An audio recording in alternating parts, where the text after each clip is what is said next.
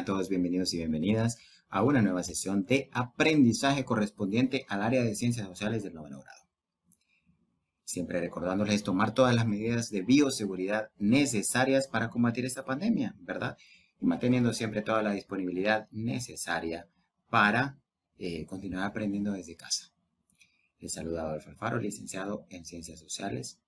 Trabajo en el Centro de Educación Básica Mariano Más, que es ubicado en, en la comunidad de La Cintura, en el municipio de Tambla, departamento de Lempira.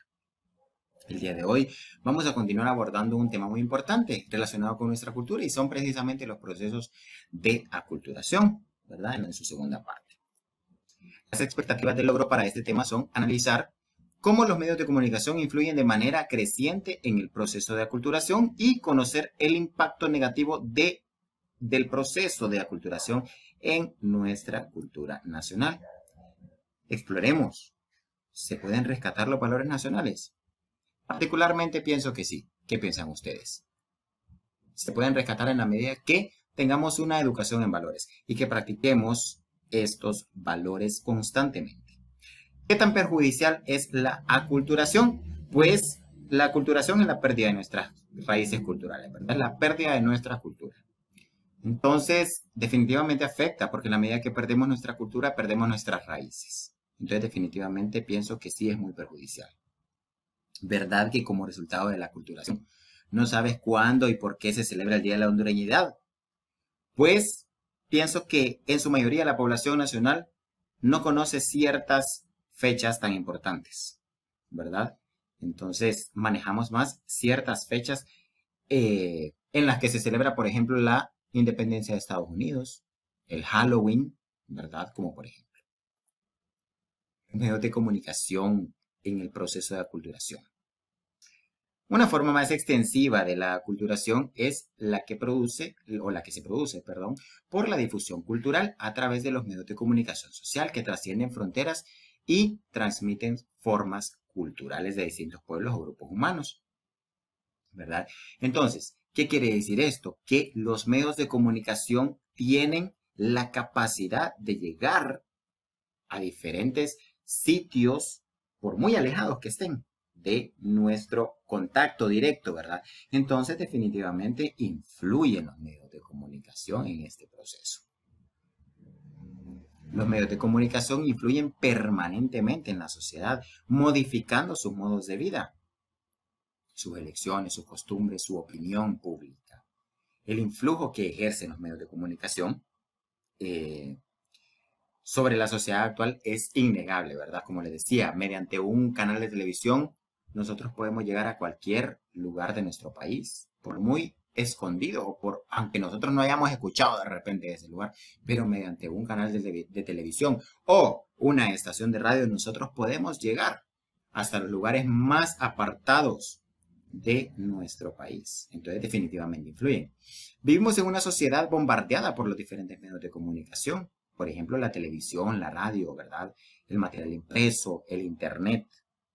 Entonces, definitivamente influyen todos estos medios, ¿verdad? Sobre todo, hoy por hoy creo que el, de mayor influencia serían tal vez las redes sociales mediante el uso del Internet, ¿verdad? Eh, por, el, por medio del cual podemos compartir cualquier tipo de información, podemos estar en contacto con el mundo. Esto es parte de la globalización, ¿verdad? El uso de las eh, tecnologías de información y comunicación. Influyen mucho en este proceso de aculturación. Ahora bien, ¿cuáles son las consecuencias del uso inadecuado de los medios de comunicación? Pues los medios, ¿verdad? Y violencia como la agresividad en el niño, en el, adolescente o personas adultas mediante el, eh, la visión, ¿verdad? De novelas de narcotráfico, programas de contenido violento o sexual en algunos casos. La publicidad y consumismo, ¿verdad? La publicidad estimula definitivamente el deseo o esa necesidad de consumir, ¿verdad? Nosotros de repente vemos una marca en un canal de televisión o en una red social y queremos utilizarla aunque tal vez no la necesitemos pero queremos utilizarla. Entonces, este es el tipo de influencia que ejercen los medios de comunicación. Es publicidad, es marketing, ¿verdad? El rendimiento escolar definitivamente afecta a los alumnos, ¿verdad? Cuando preferimos estar viendo televisión que de repente estar atendiendo nuestras, nuestras asignaturas, ¿verdad? En el, en, el, en el aspecto académico o escolar, ¿verdad? Creamos estereotipos, ya que los medios de comunicación crean modelos de convivencia, valores y actitudes, ¿verdad? De repente tenemos la idea errónea de que una persona eh, gorda, por decirlo de alguna manera coloquial o popular, este, no vale lo mismo que una persona delgada o fit, ¿verdad? O alguien que va al gimnasio. Son estereotipos que creamos. Si no vestimos de una forma o de otra manera, ¿verdad? Este, no estamos de acorde al desarrollo de nuestra sociedad. Entonces son estereotipos en, la mayoría de los casos erróneos, ¿verdad? Que se van creando mediante el uso de los medios de comunicación. La obesidad está directamente relacionada con el aumento del tiempo destinado a ver televisión. Si nosotros pasamos todo el día viendo televisión, obviamente nuestro cuerpo va a estar totalmente sin la menor actividad física. Entonces, por lo tanto, vamos a estar propensos a engordar. El sexo y la sexualidad, ¿verdad? Mediante programas de televisión, nosotros podemos este, crear ciertos eh, estereotipos también este, psicológicos enfocados a la sexualidad, ¿verdad?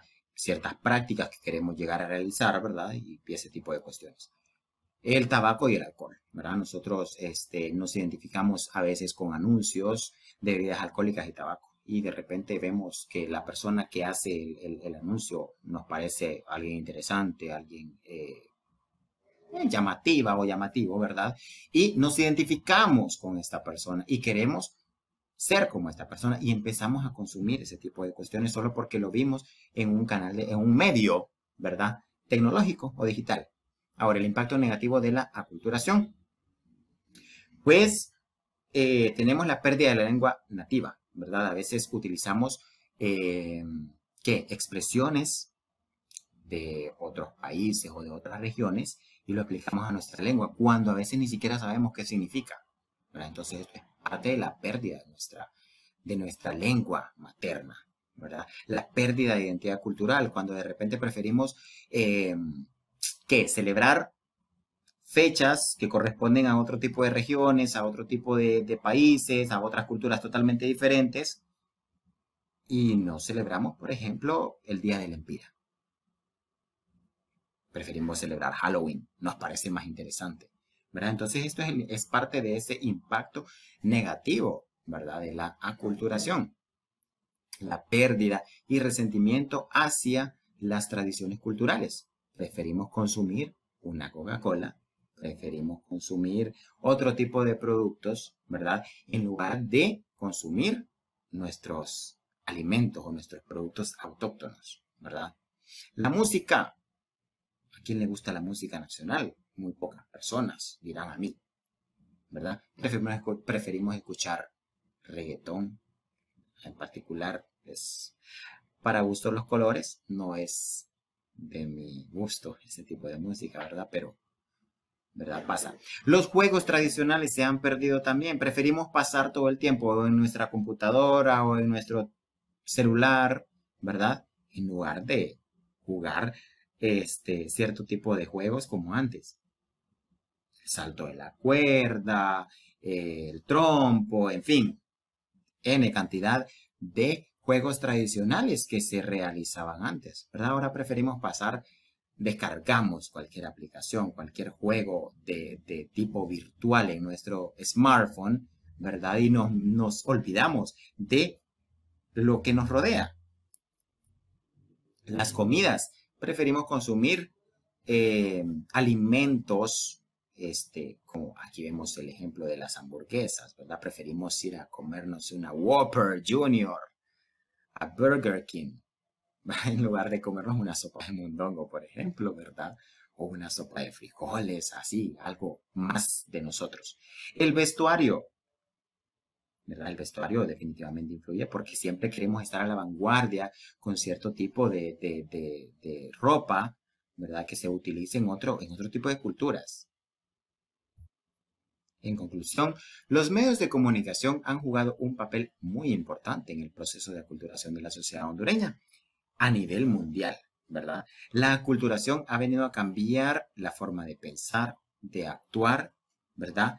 La, y la cosmovisión del mundo de hoy. Dicho proceso ha tenido como resultado consecuencias negativas y positivas. Veamos algunas consecuencias positivas, ¿verdad? El mayor acceso a la información, acceso al conocimiento, ¿verdad? Mediante, mediante eh, el uso, por ejemplo, de los medios de comunicación podemos tener eh, acceso al conocimiento, a la información y, por supuesto, a la educación. Ahora bien, las consecuencias negativas, por ejemplo, la obesidad, por lo que ya les dije del tiempo que pasa, dedicamos a ver televisión, por ejemplo, ¿verdad? La drogadicción, la violencia, la pérdida de comunicación familiar, porque preferimos estar en nuestro teléfono que estar conviviendo con nuestros padres, con nuestros hermanos. El consumismo debido al marketing o a la publicidad. El bajo rendimiento escolar porque preferimos estar en nuestra computadora, preferimos estar en el Facebook en lugar de dedicarle tiempo a nuestras asignaturas, ¿verdad? En el aspecto académico. La discriminación por raza, por sexo, por preferencia, por color, por lo que se les ocurra solo porque el otro es más corto y yo soy más flaco, o porque sos peludo o sos pelón. No. Pero definitivamente influye. La pérdida de la privacidad, porque mediante las redes sociales nosotros perdemos privacidad totalmente. Usted no tiene vida propia, porque todo el mundo puede ver sus cuestiones. Por mucha privacidad que le ponga a su Facebook, siempre va a haber alguien que puede utilizar sus fotos, ¿verdad? Entre, entre otras cosas, de consecuencias negativas. Ahora bien, un pensamiento, la patria no existe sin el amor de sus hijos. Nosotros somos los hijos de nuestra patria. Nosotros somos los que hacemos que nuestra patria exista. Y sin nosotros no existe la patria. Ahora bien, como tarea, escriba en su cuaderno cinco ventajas y desventajas de la aculturación para la población hondureña. Un poquito de análisis, ¿verdad? En base a sus eh, creencias y conocimientos. Recuerden que te queremos estudiando en casa. Hasta la próxima.